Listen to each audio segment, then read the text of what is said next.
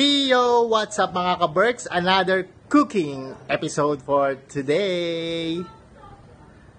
Ang ulam namin ngayon ay tilapia. Pero this time, meron akong ituturo sa inyong magandang recipe na napakasarap. Shout out kay Tita Lisa, tita kong maganda. Yan ang nagturo sa akin magluto nitong tilapyang to. Nako, sarap na sarap kami ng asawa ko. At masarap talaga to mga ka-Berks kapag ka natikman nyo. Well, ako nga pala si Jigs at kung bago ka lamang sa aking channel ay mag-subscribe ka na agad and then pindutin mo na ang kalembang ng bayan para lagi kang updated sa mga bago kong videos. So, eto guys. Basic lang ang mga ingredients mga ka-Berks, no? Siyempre, unang-una ang tilapia. Yan. And then, meron siyang patatas, magic sarap, and pechay bagyo. Siyempre, patis mga ka-Berks. Black pepper, sibuyas at kamatis lang, walang bawang. And then, foil paper. So, ang gagawin natin mga ka-Berks, basic na basic lang, no? May hiwa yan tilapia sa tiyan. Ayan. So, papalaman mo lang to. Di ba? Parang yung sa pinaputok na bangus, di ba? Papalaman mo lang sibuyas. Tsaka kamatis din. Lalagyan mo ng paminta. Lalagyan mo ng konting-konti lang, konting kung gusto mo lang, a touch of salt sa ibabaw. And then, papatakan mo syempre ng patis sa loob. So, mamaya gagawin natin yan, no? papatakan ng patis. Tapos, ibabalot siya sa foil na may kasamang pechay bagyo at kamatis. Ay! patatas. Napakasarap nun mga kaberg. So, lutuin na natin.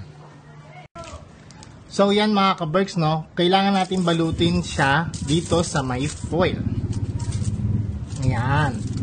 So, actually, papatakan natin siya ng patis. Patak lang mga kabergs kasi lalasa talaga yan eh. Nakabalot siya sa foil, so lalasa siya. Patak lang mga kabergs. Oops!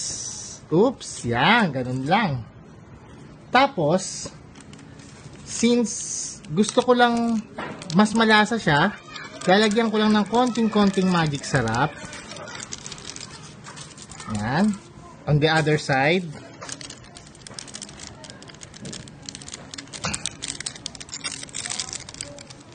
Ayaw. Kaya mo na, okay na yan. May patis naman eh. Tapos, a touch of salt, konti lang din. Yan, dito sa may ulo.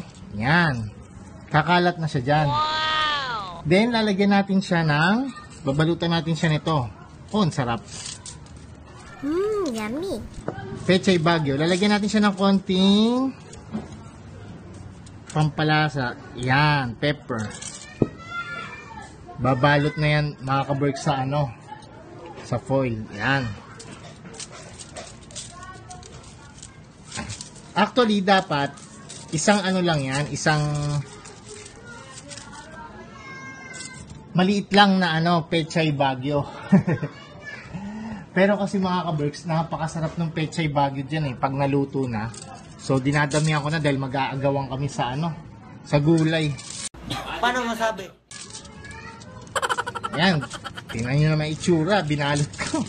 Actually, hindi ganyan talaga itsura niyan for presentation, pero maliit lang siya dapat. Yan, tapos lalagyan mong patatas. Ayan, mga ka-Berks, so patatas. Diyan nahalo lahat ng lasa. Ang magandang patatas mga kaberks, may nabibili yung bilog na ganon, na may balat. Yun ang masarap na patatas. Kaso, syempre, improvise tayo. Hindi na rin nakapalengke masyado. So, yan. Ganyan. Medyo madami yung patatas ko, pero okay lang yan. Then, babalot natin siya. Okay. Balot natin. Yan. Yan, kailangan balot na balot para hindi lumabas yung katas niya. At gagawin mo yan sabaw mamaya. Yun ang nagpapasarap. There you go. So, ganyan mga ka-berks, no? Kailangan i-steam mo siya. Meron siyang pangsalo, hindi siya nakababad sa tubig. Tapos yun yung magpapasarap niyan yung steam niyan, yung pagkabalot niyan sa foil, and then yung sabaw niyan, nako, sobrang sarap. Ginagawa din namin to mga kaberg sa mga okasyon, kagaya nung New Year na ganyan kami, di ba?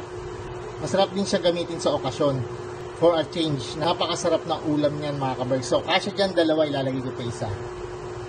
Another one. Another one. Another one. Another one. Ayan mga ka-Berks, dalawa na sila, no? So, hindi kayo magsisisi nga, napakasarap ng sulit yan.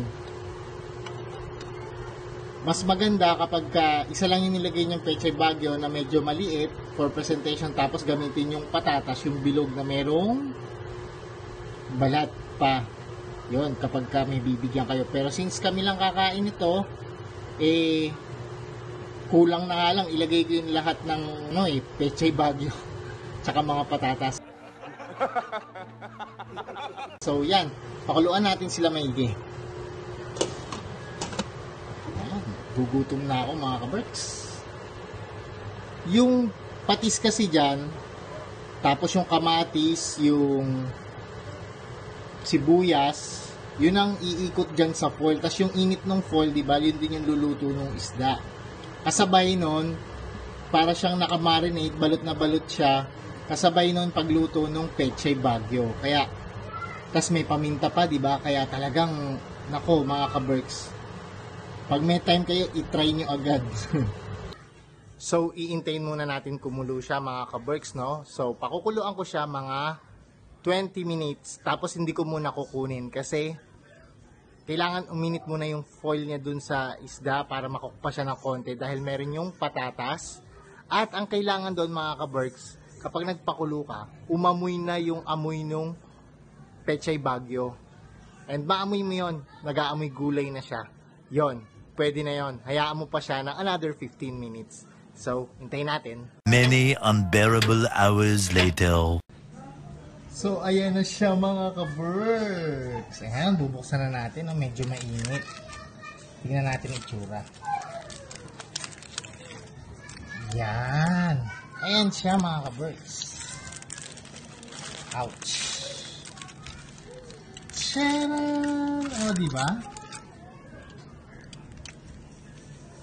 Ouch. Ayan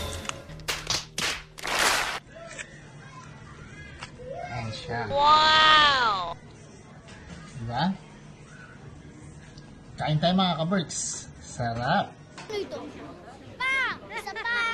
Ayan na po siya mga ka-Berks. Oh, ha? Wow, ang sarap. Sana all. Ayan, habang inuubos ng asawa ko yung patatas.